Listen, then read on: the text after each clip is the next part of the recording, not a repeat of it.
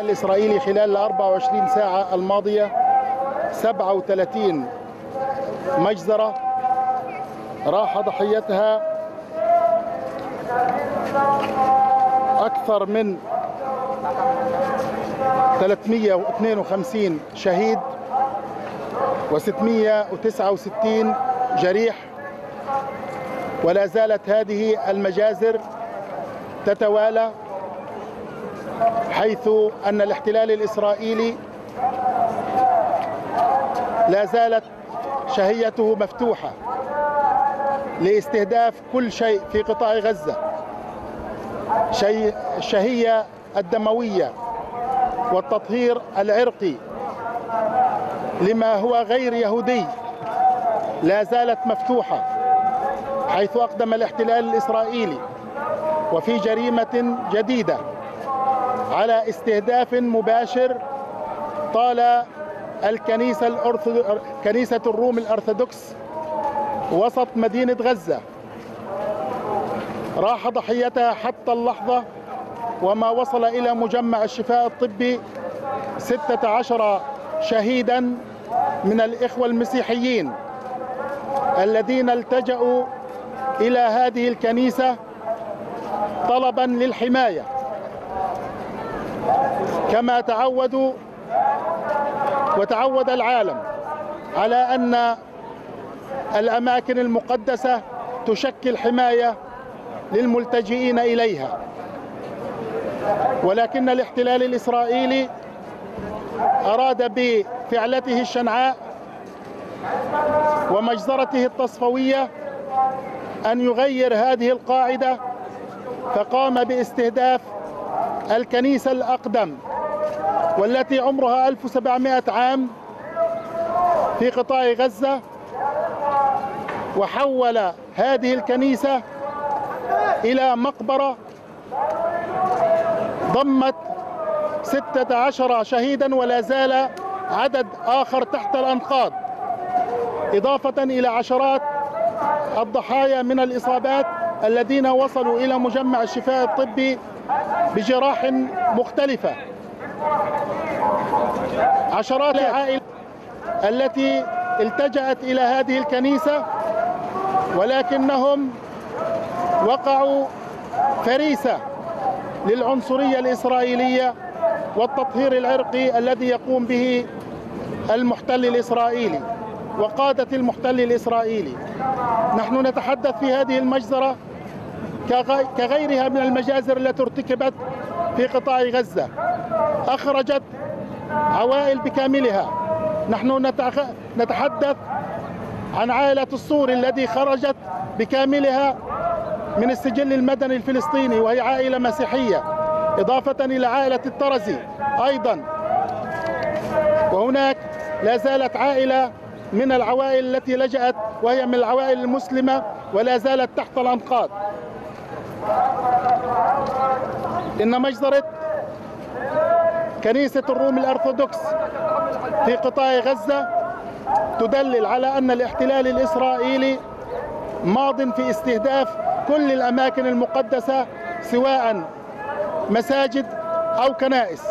وهذه المجزرة تأتي بعد ساعات فقط بعد يومين من استهداف مستشفى الأهل العربي وهو المستشفى المعمداني والذي يتبع أيضا لكنيسة وعلى مقربة من كنيسة الروح الأرثوذكس والذي راح ضحيتها هذه المجزرة التي لا توصف ولا يمكن أن تخطر ببال أحد حتى في الأفلام الخاصة بالهوليود أن هذه المجزرة التي ارتكبها الاحتلال الإسرائيلي بكل وحشية راح ضحياتها 471 شهيدا ولا زال 28 إصابة حرجة في العنايات المكثفة ولا زال هناك 314 إصابة ما بين متوسطة وخطيرة في مجمع الشفاء الطبي أيضا من هذه المجزرة.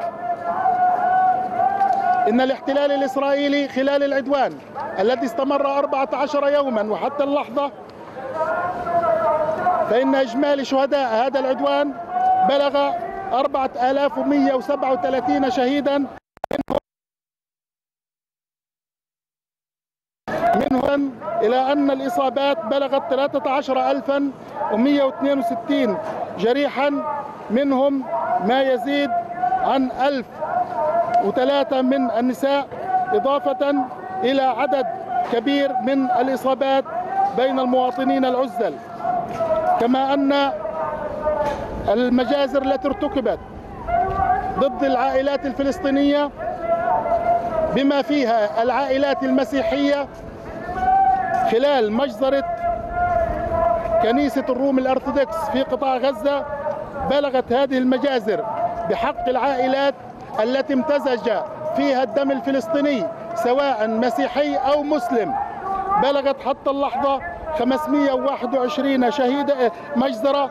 راح ضحيتها 3109 شهيد. كما أن عدد البلاغات التي لا, زال لا زالت وزارة الصحة والجهات المختصة تتلقاها للإبلاغ عن مفقودين وصلت 1400 بلاغ منهم 720 طفلا حتى هذه اللحظة.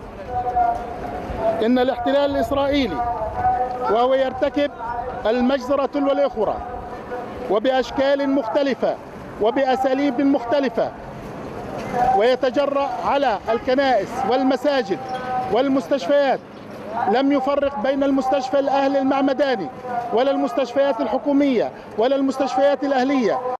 وكذلك لم يفرق بين كنيسة الروم الأرثوذكس وبين المساجد التي قصفت في قطاع غزة إنما هذا يدلل على أن الاحتلال الإسرائيلي لا يريد أحد لا يريد أحد من مسلم ومن من مسيحي في قطاع غزة. وهذا يمثل تطهيرا عرقيا عنصريا وفاشيا يتمثل في القيادة الإسرائيلية وكذلك أيضا في العقلية الإسرائيلية بشكل عام.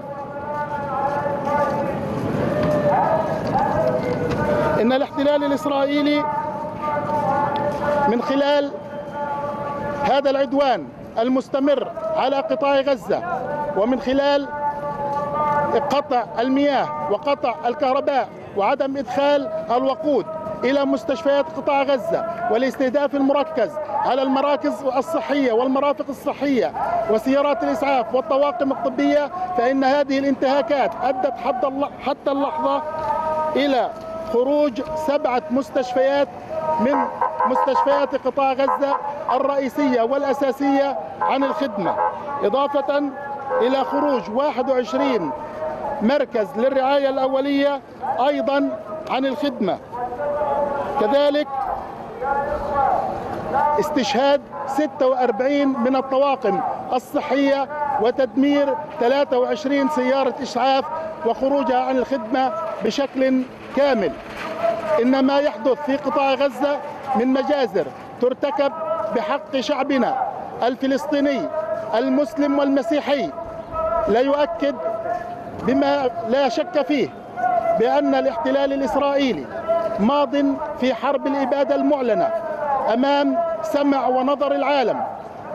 ولذلك نحن نطالب المجتمع الدولي بالحماية الفورية للمواطنين المسلمين والمسيحيين في قطاع غزة وكذلك الحماية للطواقم الطبية والمؤسسات الصحية التابعة لوزارة الصحة والمؤسسات الأهلية كذلك وكذلك المؤسسات الصحية المسيحية كما نطالب بحماية حركة سيارات الإسعاف وتحييدها عن الاستهداف إضافة إلى أننا نطالب بالإسراع في إدخال الإمدادات الطبية إلى مستشفيات قطاع غزة والذي بلغت حد والتي بلغ فيها الانهيار الكامل إلى حد الجفاف فيما يتعلق بالأدوية والمستهلكات الطبية والوقود وإنه لا وقت لا وقت ما بقي أمام الطواقم الطبية لتقول بشكل واحد بأن العديد من خدماتها داخل المستشفيات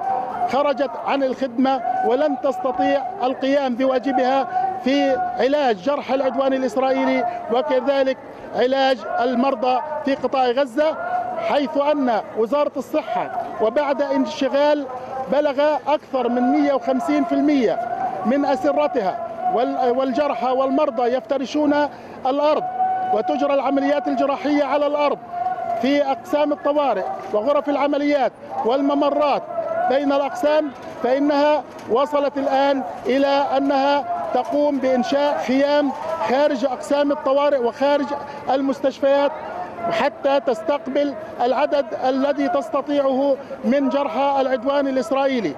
وبهذا نطالب بسرعة التدخل لإنقاذ الوضع الصحي المأزوم في قطاع غزة والذي بلغ حد الانهيار وأن الساعات القادمة حرجة للغاية أمام الطواقم الطبية التي تحبس أنفاسها وهي تقوم بإجراء التدخلات الجراحية وعينها على الكمية المتبقية لديها من الأدوية والمستلكات الطبية والوقود. والسلام عليكم ورحمة الله وبركاته.